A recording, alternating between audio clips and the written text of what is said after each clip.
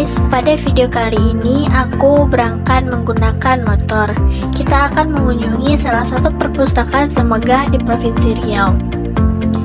Perpustakaan Suman HS terletak di Jalan Jenderal Sudirman di dekat kantor Gubernur Provinsi Riau atau lebih tepatnya di tengah kota.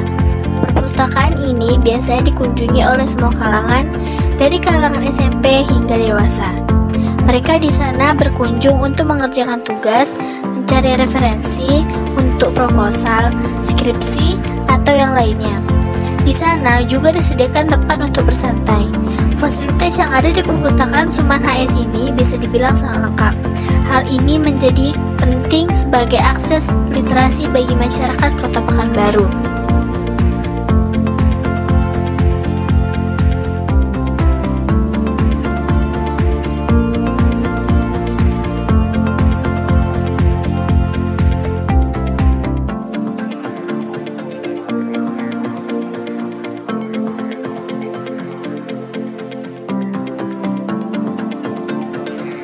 Pada saat kita berkunjung ke Puswil ini, biasanya sebelum masuk kita akan diberikan kartu masuk pustaka oleh petugas di sana. Tapi berhubung saat aku berkunjung saat ini kartunya habis, maka dari itu petugas menyuruhku untuk langsung ke parkiran saja.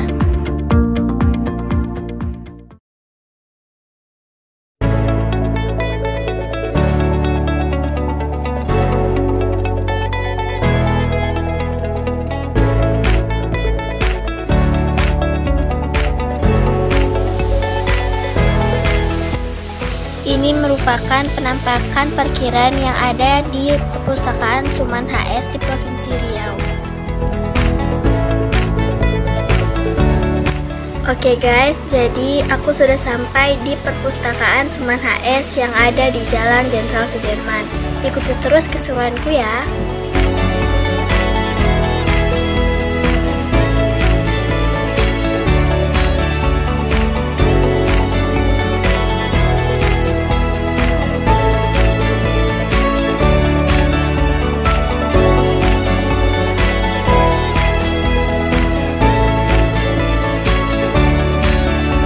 Bagian dekat pintu masuk perpustakaan Suman HS ini ada auditorium Hawang Halim.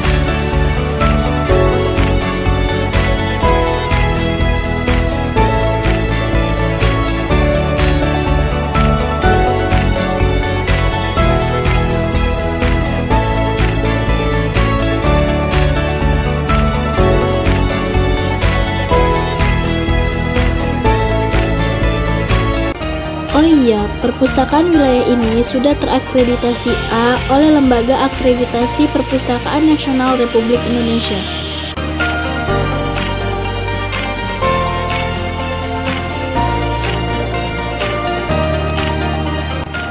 Pada saat kita masuk perpustakaan wilayah ini, kita akan disuguhkan oleh sebuah komputer untuk mendata kehadiran kita pada saat kita berada di perpustakaan ini.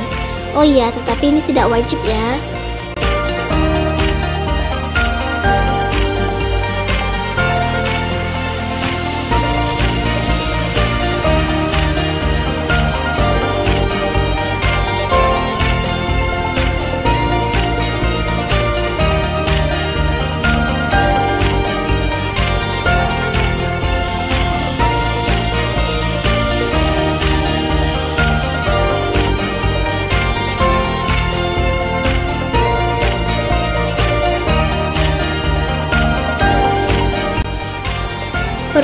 Wilayah ini memiliki lift yang memudahkan kita untuk menjelajahi setiap lantainya.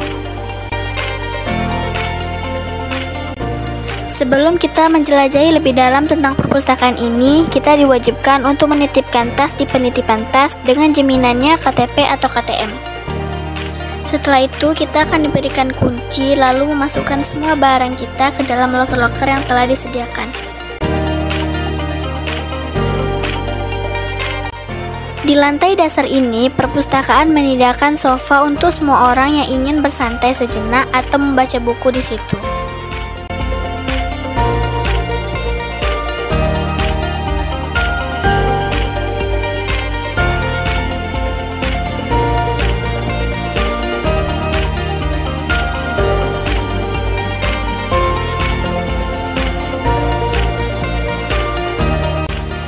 Di sini juga disediakan komputer yang digunakan untuk pendataan koleksi baca di tempat.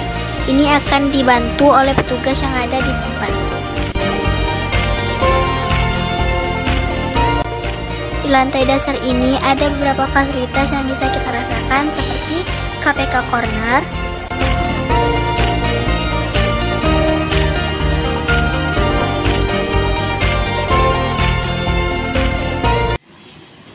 BI Corner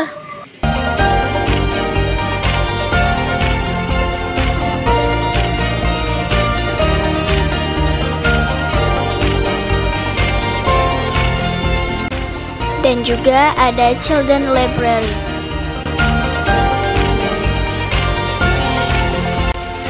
Children Library ini biasanya diramaikan oleh anak-anak sehingga anak-anak bisa membaca dan bermain. Jadi, perpustakaan ini tidak hanya diperuntukkan oleh mahasiswa atau pelajar saja, melainkan bisa juga untuk anak-anak.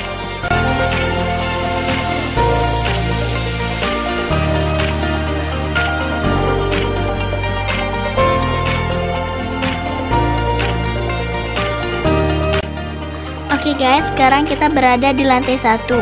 Di lantai satu ini terdapat beberapa fasilitas. Di setiap lantai di perpus ini tidak banyak yang berbeda. Di lantai satu ada tempat pengembalian buku dan peminjaman buku yang bisa kita pinjam.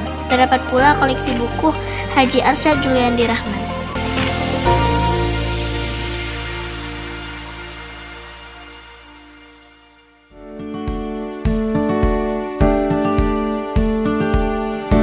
Ada banyak buku-buku umum yang ada di lantai satu ini seperti buku hukum, ekonomi, agama Islam, ilmu sosial, pendidikan, dan masih banyak lagi.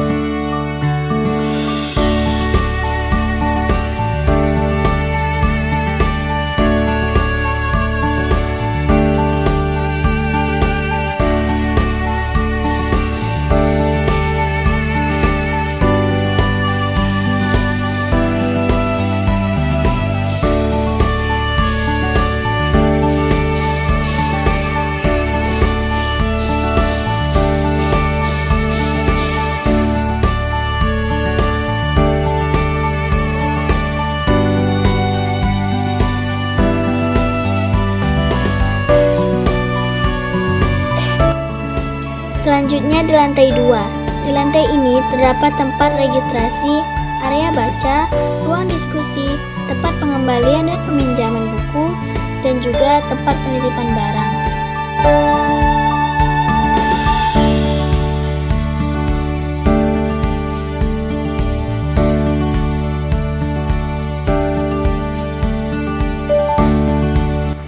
Masih seperti lantai sebelumnya, di setiap lantai juga memiliki buku-buku yang bisa kita baca.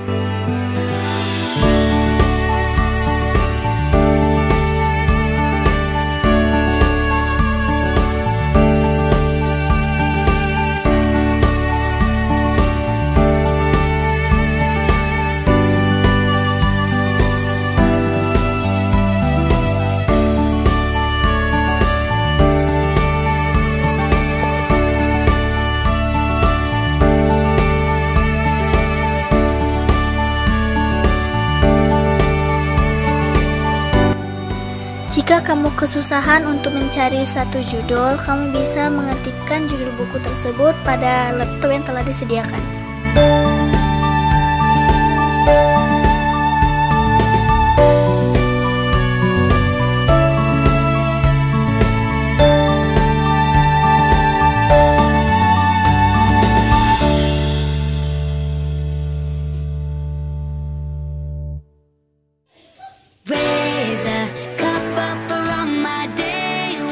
Oh iya, perlu diingat ya bahwa kita tidak boleh duduk atau membaca buku pada lorong-lorong rak karena bisa mengganggu pembaca lain yang akan mencari buku keperluan mereka.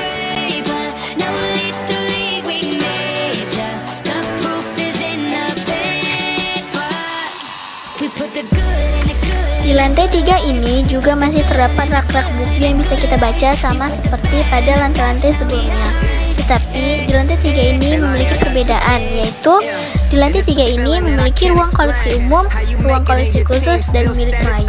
Stay down from the jump and they never change. Man, it's a moment I could never trade.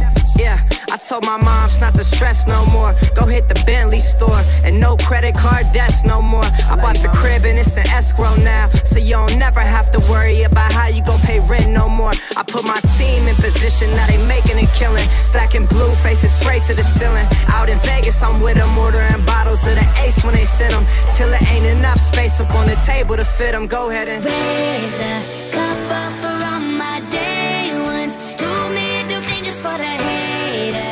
So.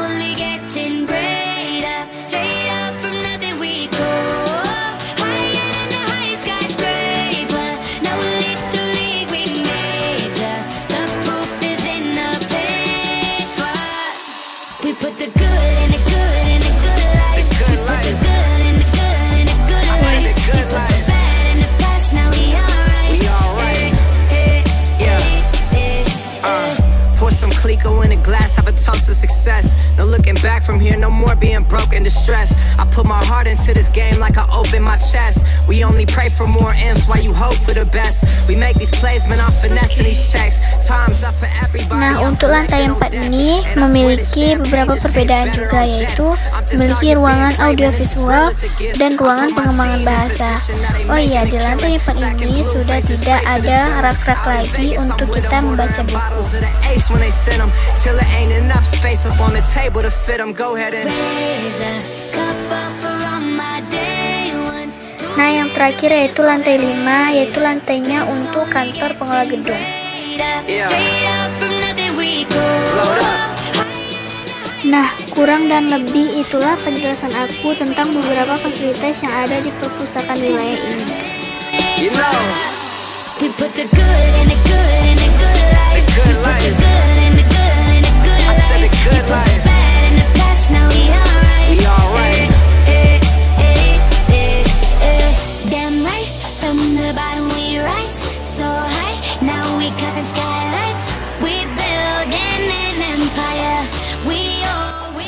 Gedung Perpustakaan Suman HS ini diresmikan pemakaiannya oleh Gubernur Riau HM Rusli Zainal pada tanggal 24 Juni 2008. Perpustakaan ini juga merupakan perpustakaan terbesar yang ada di Indonesia. Atap perpustakaan ini sendiri berbentuk seperti rel Al-Quran. Perpustakaan ini memiliki tiga gedung, lima lantai, dan enam tingkat.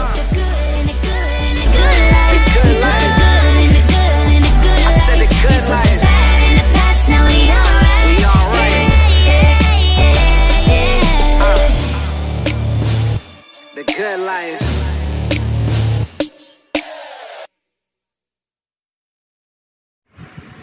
Konsep awal pembangunan gedung perpustakaan ini adalah penggabungan dari bangunan lama dengan tidak merombak bangunan lama yang mempunyai nilai sejarah untuk masyarakat Riau. Penggabungan aula yang sekarang diberi nama yaitu Aula Ismail Suko dan Aula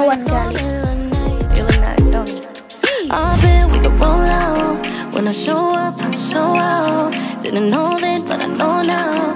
Best kept secret, but you know now.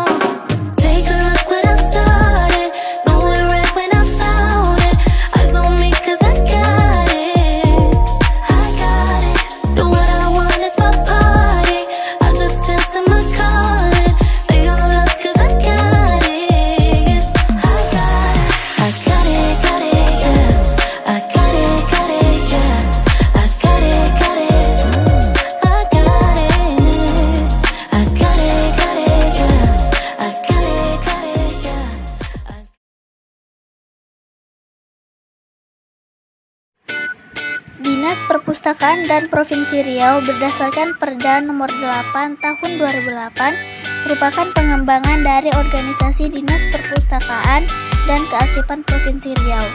Perkembangan perusahaan negara di Tanjung Pinang pada tahun 1967, perpustakaan negara berpindah ke Pekanbaru seiring dengan berpindahnya pusat pemerintahan Provinsi Riau. Lalu, pada tahun 1978, Perpustakaan Negara berubah menjadi Perpustakaan Wilayah yang merupakan UPT Kanwil, DEP, P, dan K Perkembangan Perpustakaan di Provinsi Riau.